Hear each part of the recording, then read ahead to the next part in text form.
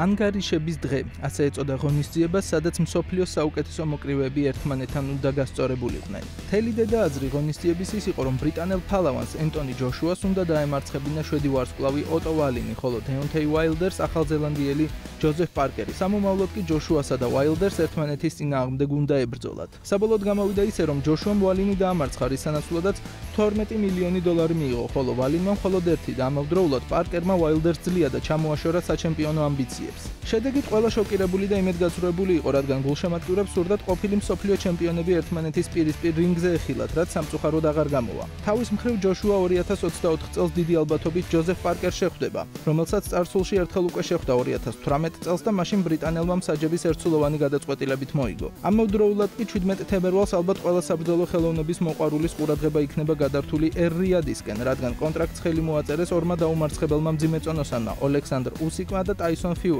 ეს ჩხუბი წლებია მომზადების პროცესია და როგორც იქნა მაყურებელი იხილავს ალბათ ერთ-ერთ ყველაზე დამაინტრიგებელ ბრძოლას, სადაც აბსოლუტური ჩემპიონი გამოვლინდება. ღონისძიებების უკან კი 44 წლის ედი ჰერნი დგას, რომელსაც შოუს მოწყობა ძალიან უყვარს. მან აქამდე წარმოუდგენელ სიმაღლეებამდე აიყვანა თავისი ოჯახის ღონისძიებების ორგანიზატორი კომპანია Matchroom Sports-ი, რომელმაც Forbes-ის შეფასებით ფისკალურ 2023 წელს 365 მილიონი დოლარის შემოსავალი ნახავთ, 60 მილიონ დოლარიანი წმინდა მოგებით. ამის დიდი ნაწილი კი კრივის გაახალგაზრდავების წყალობით შემოვიდა. კრივზე ახლა მათ შრომ სპორტსის წლიური გაყიდვების ნახევარზე მეტი 235 მილიონი დოლარი მოდის. ესაა ყველაზე დიდი სახელი დიდი ბრიტანეთის კრივში, რომელიც ამავდროულად მომგებიანი მოთამაშეა ამერიკაში და იმედის მომცემი ისეთ ახალ ბაზარზე, როგორიცაა ახლო აღმოსავლეთი.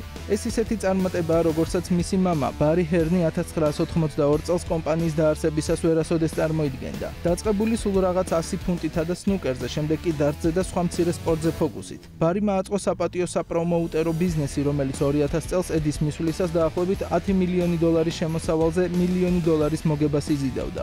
ედი ჰერნის კარიერის კურსი რადიკალურად შეიცვალა 2009 წლის მსოფლიო პოკერის სერიებზე ყოფილ ოლიმპიურ ოქროს მედალოსანსა და მძიმეწონოსან ოდლი ჰარისონთან შეხვედრით, რომელსაც რინგზე მეორე შანსის მიღება სურდა. ჰერნი დათანხმდა მის პრომოუშენს და საბოლოოდ ჰარისონი მძიმეწონის საჩემპიონო ბრძოლამდე მიიყვანა. ჰარისონმა კი წააგო, მაგრამ სხვა მოკრივეებმა მალევე შეამჩნიეს ედი თავისი უეცარი წარმატების გამო და მასაც დიდას პარეზე გზა გაეხსნა, რის გამოც 2012 წელს Sky Sports-თან ექსკლუზიური სამაუწყებლო კონტრაქტი გააფორმა. გარკვეულწილად მათ შრუმა ახალი სიცოცხლე შესძინა სპორტს, რომელიც ბევრს სტაგნაციიდან თუნდაც მომაკვდავად მიაჩნია. დღესდღეობით შერეული საბრძოლო ხელოვნების ნამდვილი ბუმია, რომელიც კრივის გარდა სხვა მრავალ საბრძოლო სტილსაც მოიცავს, რის გამოც გულშემატკივრების ყურადღება უმეტესად მისკენაა მიმართული. ასეთ კრივისთვის მძიმე დროებაშიც კი ედი ჰერნი ახერხებს და უნარჩუნებს სპორტის ამ ტრადიციულ სახეობას სახეს და პოპულარობას. ჰერნმა დააწინაურა კრივის ზოგიერთი უდიდესი ვარსკვლავი, მათ შორის ენტონი ჯოშუა და აბსოლუტური წონითი კატეგორიის დიდი ხნის ჩემპიონი კანელო ალვარესი, რის შემდეგაც 2018 წელს ჰერნიმ ხელი მოაწერა 8 წლიან კონტრაქტს ახალ სტრიმინგ სერვისთან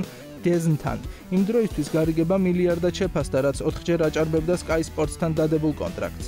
აღსანიშნავია, რომ ედისა და მათ შრომის საზღვრები კრივს ძდება, რადგანაც ჰერნიმ დაიწყო სხვა სპორტის სახეობების პოპულარიზაციაც, როგორებიცაა გოლფი და პოკერი, რომელიც კომპანიის ერთ-ერთი უმსხვილესი მოგების ცენტრი გახდა 2000-იან წლებში, როდესაც Texas Hold'em-ის პოპულარობის ხანა იდგა. ედი ჰერნმა ფაქტობრივად მამის დანატოვარი ვერცხლის კოვზი ოქროდ გადააქცია და უამრავ თვითკმაყოფილ კონკურენტს სახლიდან ღიმილი მოხსნა. მაგალითად, წარსულში ჰერნმა მან თამამად გამოაცხადა, რომ მაჩრუმი ამერიკაში სპორტს დაიპყრობდა. მისი მიზანი ამერიკაში ხალხის სწრაფად გაღიზიანება, პროფილისა და ხმაური შექმნა იყო, რითაც ინტერესს მოიზიდავდა. ნებისმიერ შემთხვევაში, ჰერმა კრივის სამყაროდ ცალსახად უკეთესობისკენ შეცვალა. IBIS World-ის თანახმად, დაახლოებით 440 მილიონი დოლარის ღირებულების ამერიკის ბაზარი 3.4%-ით გაიზრდება 2027 წლისთვის. ნაწილობრივ მისი დამსახურებით, თუმცა არ უნდა დაგვაუწყდეს, რომ ედი გლობალურად ფიქრობს და ამის გამო ტურნირებს ახლო აღმოსავლეთსა და აზიაშიც მართავს.